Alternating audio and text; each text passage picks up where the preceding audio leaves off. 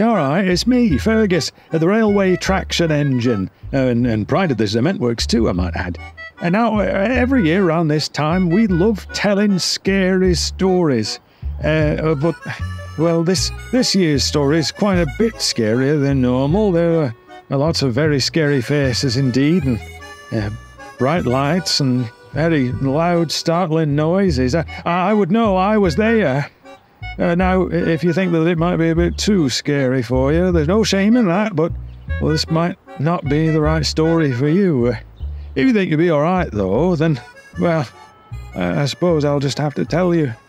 Let me tell you about the time that I met the 13th van.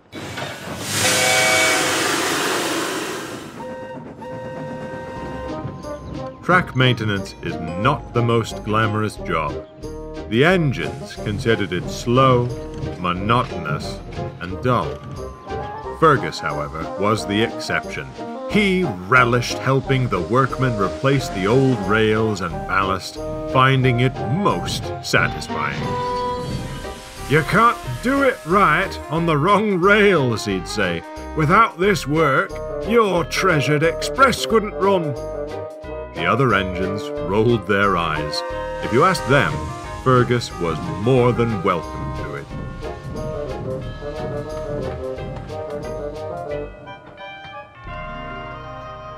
One evening, Fergus was preparing to take a maintenance train down Edwards Line. Tracks between Lower Sudbury and Upper Brendam needed to be replaced.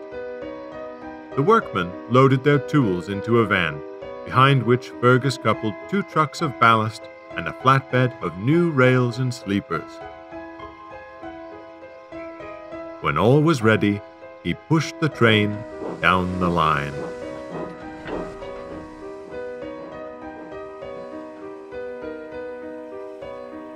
By the time they'd reached the station, a dense fog hung in the air.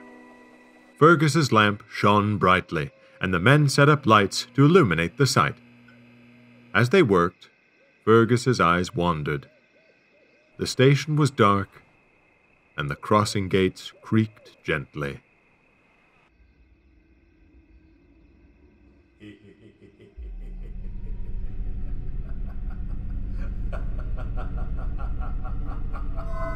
The chuckle broke Fergus's trance. That's strange, he thought. I don't remember putting a van there.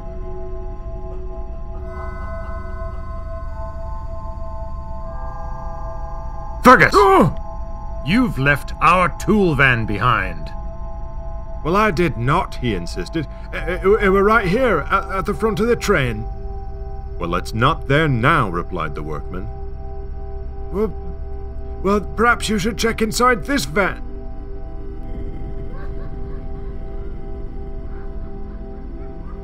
We need our tools, grumbled the workman, losing his patience. Take us back to the yard at once.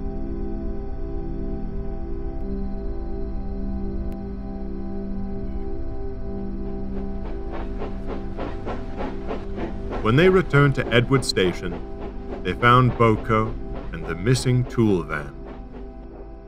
It's not like you to leave trucks behind, remarked Boco. I didn't leave it behind, Fergus protested. I. Uh. Um, would you like me to take the maintenance train? Boco offered. You seem uh, distracted. Oh, uh, I, I, I'm fine, he insisted. The fog must be playing tricks with me eyes. Uh, anyhow, uh, we must be off. At once. Uh, urgently now, you silly tool van. Come on. With the tool van in tow, Fergus left the yard once more. For an engine known for his focus on the task at hand, his mind thought only of the strange van. He kept a watchful eye all the way up the line. Now that they were properly equipped, the men worked fast. They replaced the rails at Lower Sudbury and slowly worked their way along the hill towards Upper Brendam. All the while, Fergus was quiet. Ah, not to worry, old boy, comforted the driver. We're all a bit forgetful sometimes. Fergus didn't even hear him. He was squinting through the fog towards the head of the train. In front of the ballast trucks was a barely visible grin. Then came a sudden rush of wind. Watch out! Fergus opened an eye to see what had happened, only to find himself face to face with the van and its awful smirk. I don't know who you are, Fergus bellowed, but I've had quite. With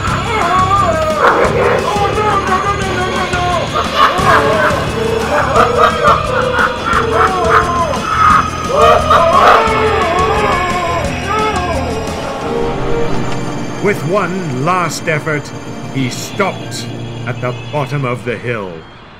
He opened his eyes, and once again, the van was gone.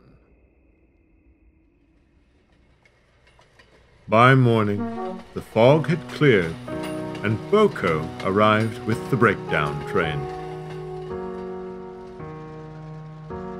The workman spoke to Fergus. Phew, oh, that was some mighty wind. It blew one of the ballast trucks over, toppled off the embankment, and now it's in the cow field. The wind must have caught the tool van, too. It pushed you back down the hill. Wind can't blow a loaded truck off the rails, Fergus grunted. And where is the other van? Fergus, we keep telling you there was no other van, except for the one for our tools. Now we must get this mess cleaned up. I'll find that van and wipe the smug smirk off its face, grunted Fergus. No one interrupts my work. well, you're not likely to find it, Boco chuckled dryly, but it doesn't exist. Whatever do you mean? Railwaymen have always been superstitious about the number 13, explained Boco. But that doesn't just apply to engines.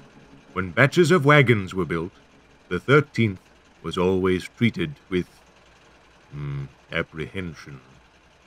Superstitions are nothing but tish tosh, huffed Fergus. Boco ignored him and continued. I heard of a particularly unlucky van, supposedly the 13th in its batch, and misfortune certainly followed it. One night, an engine derailed while moving it to some old sidings.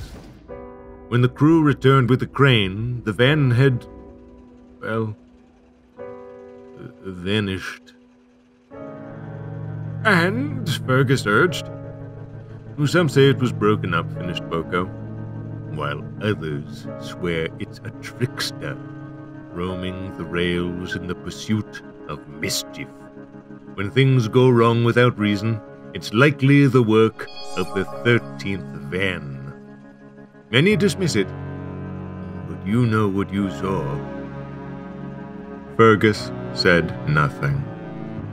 As far fetched as poltergeists seemed, he couldn't explain how the van moved and disappeared of its own accord. He continued his work with the maintenance crews, but was more focused and alert than ever before. He would never admit to believing in ghosts, but every foggy night he remains on guard, lest he receive a visit from the 13th van.